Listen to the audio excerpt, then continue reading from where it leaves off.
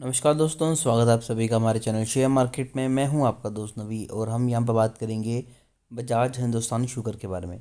तो देखिए, thirty two point forty यानी कि तकरीबन बत्तीस रुपये का स्टॉक आज हमें दिखाई दे रहा है। और रिज़ल्ट की बात करें तो रिज़ल्ट नेगेटिव में आया है। उसके बावजूद भी आज स्टॉक में तीन ढाई दो परसेंट की तेज़ी हमें दिखाई दी अभी भी मार्केट रनिंग में है, एक घंटा है बचा हुआ है और अभी तकरीबन दो परसेंट की तेज़ी हमें ओवरऑल स्टॉक में दिखाई दे रही है। अगर हम यहाँ पर पिछले पाँच दिनों की बात करें तो चार परसेंट की तेज़ी है, पिछले एक मंथ में सत्ताईस परसेंट के पॉजिटिव रिटर्न।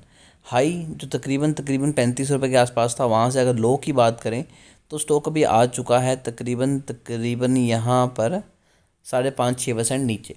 छः मंथ में एक सौ चौंतीस परसेंट के रिटर्न है और फाइनेंशियल ईयर अगर हम यहाँ पर देखें तो भी हमें रेवेन्यू में इलेवन पॉइंट वन परसेंट की गिरावट दिखाई दे रही है। Net income sixty five percent down है। Glue D P S sixty six percent down है net profit margin eighty six percent down है और operating income sixty five percent down है।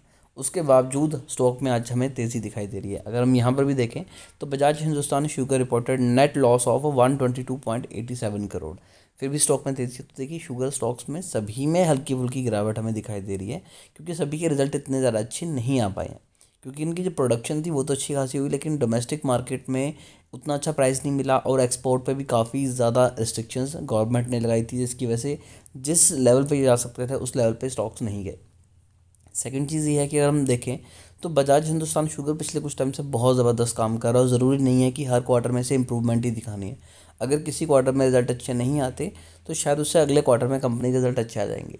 तीसरा पॉइंट आपको बताना चाहूँगा कैश फ्लो देखिए, पहले यहाँ पर कंपनी काफ़ी ज़्यादा लॉस में थी कंपनी के ऊपर कर्जा काफ़ी ज़्यादा था, लेकिन कंपनी अपना अपना कर्जा बिल्कुल निकाल रही है और धीरे धीरे कंपनी इंप्रूव कर रही है। साथ साथ अगर कंपनी प्रॉफिट इतना नहीं शो कर रही, यानी कि अभी भी कंपनी लॉस में है तो उसके पीछे रीज़न है कि कंपनी ने जो पैसा दिया था, जो अपना प्रोडक्शन करके जो रो चीनी बनाई रो शुगर को एक्सपोर्ट करा, वहाँ से भी काफ़ी ज़्यादा पैसा फंसा हुआ था, जिसकी वजह से इनका कैश फ्लो भी काफ़ी ज़्यादा लो आ चुका था। अब वो भी धीरे धीरे इंप्रूव हो रहा है।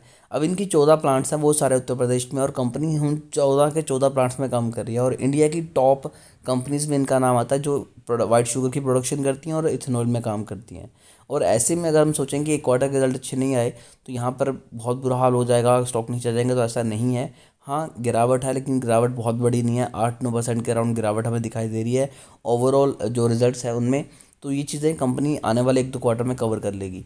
आपको बिल्कुल भी घबराने की ज़रूरत नहीं है। अगर आपने यहाँ पर इन्वेस्टमेंट करके रखी है तो आप अपनी इन्वेस्टमेंट को बढ़ाना चाहते हैं तो वो भी बढ़ा सकते हैं। एक आधे क्वार्टर के बैड रिज़ल्ट से कंपनी डगमगाने वाली नहीं है। फिर भी इनके किसी भी शेयर को लेके कोई भी क्वेरी है तो आप कमेंट कर सकते हैं। हमारी कोशिश होगी कि आपको अच्छी एडवाइस दें। अभी के लिए दोस्तों, इतना ही।